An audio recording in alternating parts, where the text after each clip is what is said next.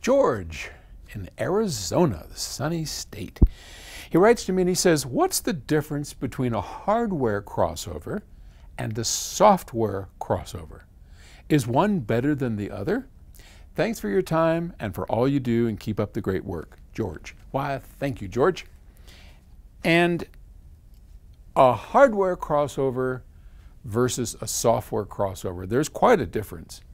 Hardware crossovers are where we have a collection of passive parts, capacitors, inductors, which are coils of wire, resistors.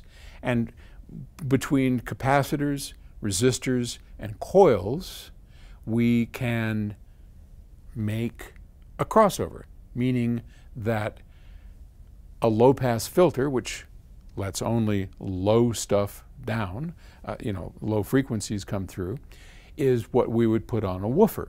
And a high pass filter, where we only let high frequencies through, are what we would put on a tweeter.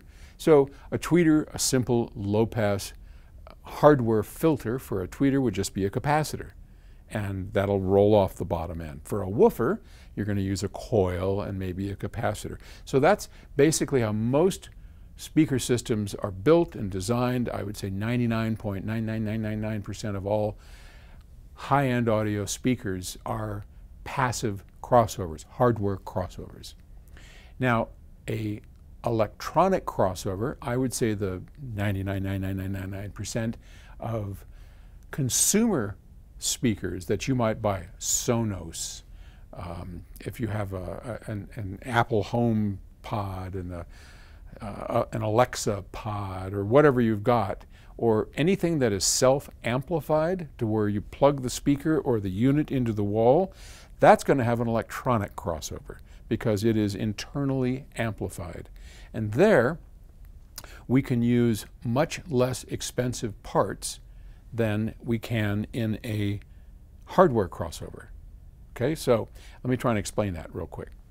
When we build, like, say, the FR30, our new loudspeaker, we're putting in hundreds of dollars into big, giant printed circuit boards, beautiful coils of wire, expensive capacitors, big ones, because that's what's required in a hardware crossover.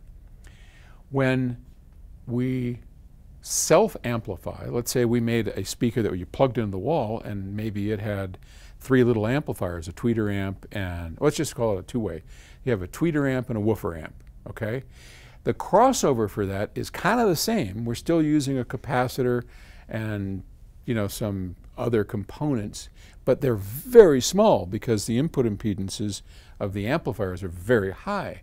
So where a capacitor I might put onto a tweeter, I would have to have, you know, we use really expensive tweeter capacitors, maybe three or four microfarads, and it's going to cost us 15, 20, 25 dollars for that capacitor because we use film and foil and it's all very important. We're putting all the energy into, you know, that's going through that capacitor. With an active circuit, an electronic crossover, we could use like a 0.01 or a 0.2, a fine little cap, and it's sure it's going to be a quality cap, but it's so tiny. It's a hundred times smaller, 10 times smaller than what we would use in the big crossover, so it's a lot cheaper. But now we have to pay for the amplifier. That's a whole nother story. All right, so that's the difference between a hardware crossover and an electronic crossover in a loudspeaker. Okay. Thanks for the question. Talk to you tomorrow. Bye.